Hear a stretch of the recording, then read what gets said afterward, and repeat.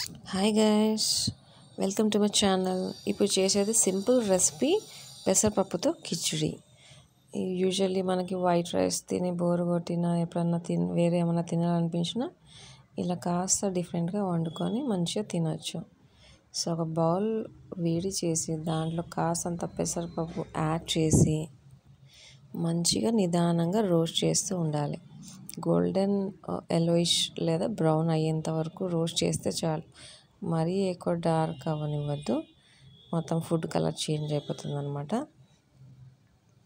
అలాగే కావాల్సిన ఆనియన్ పచ్చిమిర్చి అన్నీ కట్ చేసి రెడీగా పెట్టుకొని రైస్ ఎంత కావాలో అంత కడిగి పెట్టుకోవాలి పక్కనే.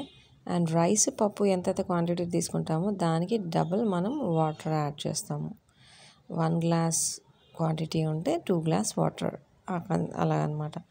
ఇప్పుడు బౌల్ వేడి చేసి దాంట్లో కాస్త ఆయిల్ యాడ్ చేసుకోవాలి. ఆయిల్ హీట్ అయిన తర్వాత ఆనియన్ అవి యాడ్ చేసుకోవాలి. సో ఇది అనమాట రెడీగా పెట్టుకున్నా ఆయిల్ వేడయ్యింది ఇప్పుడు ఆనియన్ పచ్చిమిర్చి అవి యాడ్ చేద్దాం. కావాలంటే మనం లాంగ్ పట్టా దాల్చి ఇలాచీ ఇవి కూడా యాడ్ చేసుకోవచ్చు.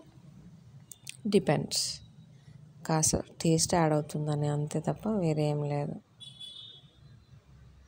ప్రస్తుతానికి ఇక్కడ యాడ్ చేసింది ఆనియన్ పచ్చిమిర్చి. యాడ్ చేసి కలుపుతూ ఉండాలి. ఇది కూడా కాస్త గోల్డెన్ బ్రౌన్ అయ్యేంత వరకు రోస్ట్ చేస్తూ ఉండాలి. చూశారు కదా? బిర్యానీ ఆకుతో పాటు ఆనియన్ పచ్చిమిర్చి అన్నీ కాస్త స్లైట్గా కలర్ చేంజ్ అయ్యాయి. ఇప్పుడు అల్లం వెల్లుల్లి పేస్ట్ యాడ్ చేసి బాగా మొత్తం అంతా మిక్స్ అయ్యేలాగా కలిపేస్తున్నాం అనమాట సో కలర్ మంచిగా చేంజ్ అయింది కాబట్టి ఇప్పుడు రైట్స్ యాడ్ చేసుకోవచ్చు. మెల్లిగా కాస్త అంత మనకి తగినంత ఉప్పు యాడ్ చేసి మళ్ళీ ఒకసారి బాగా మిక్స్ చేసుకొని అప్పుడు రైస్ యాడ్ చేసే ముందు వాటర్ యాడ్ చేసుకుంటే బెటర్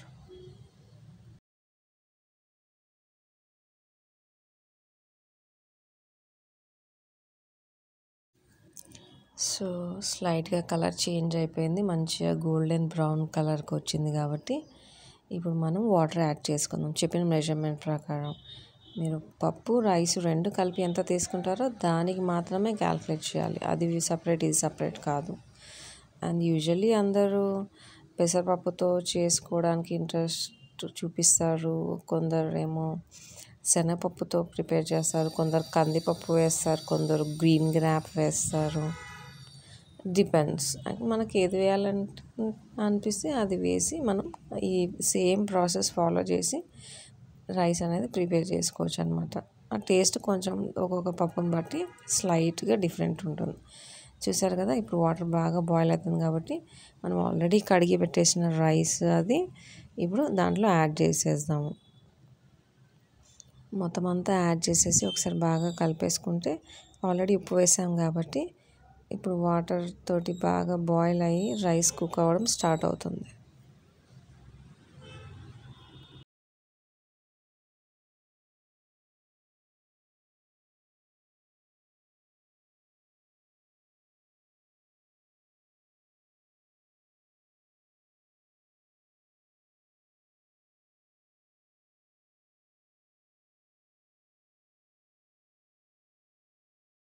చూసారు కదా? ఇలా మొత్తం రైస్ వేసిన తర్వాత ఒకసారి బాగా కలిపేసి మూత పెట్టామనుకోండి కొంచెం ఒక బాయిల్ వచ్చేంత వరకు పెట్టి మూత తీసేస్తే ఇలా ఉంటుంది. అప్పుడు బాగా బాయిల్ అవుతుంది కాబట్టి మధ్య మధ్యలో ఒకసారి కలుపుతూ ఉంటే ఆ రైస్ అనేది మొత్తం అంతా అడుగు నుంచి బాగా ఉడుకుతుంది.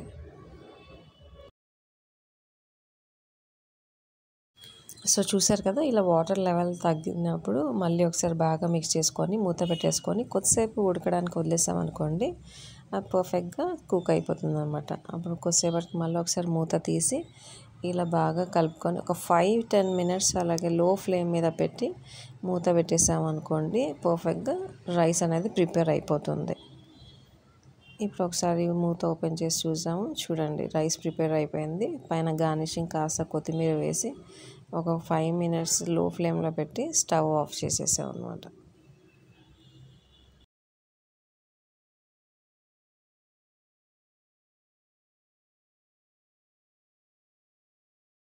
ఒక ఫైవ్ టెన్ మినిట్స్ తర్వాత ఓపెన్ చేస్తే ఇలా ఉంటుందన్నమాట. చూసారు కదా ఎంత నీట్గా మంచిగా కనిపిస్తుందో. సో ఇప్పుడు ప్లేట్లోకి సర్వ్ చేసుకుందాం. రైస్ మంచిగా పొడి పొడిగా కలర్ఫుల్గా టేస్టీగా అంటే అట్లీస్ట్ లైట్ కలరిష్ మంచిగా కనిపిస్తుంది. దీంతో మనం యూజువల్లీ ఏ పిక్కలతో తిన్నా కూడా కిచిడి అనేది చాలా టేస్టీగా ఉంటుంది. అండ్ ప్రిఫరబ్లీ కొందరు మటన్ కర్రీ అండ్ చికెన్ రోస్ట్తో కూడా తినడానికి ఇంట్రెస్ట్ చూపిస్తారు అనమాట అది కూడా చాలా టేస్టీగా ఉంటుంది. ఒకసారి ట్రై చేయండి. So like share and subscribe చేయడం మాత్రం మర్చిపోకండి. Thank you.